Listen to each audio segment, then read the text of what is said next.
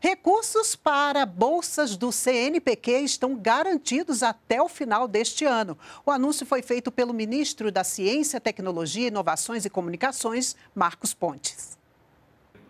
O ministro Marcos Pontes explicou que uma suplementação orçamentária no valor de 250 milhões de reais vai garantir o pagamento das bolsas do CNPq a 84 mil pesquisadores. É uma portaria que já está para ser assinada agora pelo Paulo Guedes, é, essa semana, eu espero já, liberando 157 milhões é, isso vai ser usado no pagamento dos próximos dois meses. E o PLN 41, que já foi enviado ao Congresso é, no dia 15 de outubro, que é, garante mais 93 milhões, que vai ser utilizado então mais para o final do ano, para dezembro. O projeto Sirius, que é um laboratório de luz síncroton de quarta geração, capaz de gerar imagens de alta definição, localizado em Campinas, e o programa Conecta Brasil, que leva internet de banda larga para todo o país, também terão verbas liberadas. O ministro falou ainda sobre a Semana Nacional de Ciência e Tecnologia, que começa na segunda que vem. A tecnologia está no nosso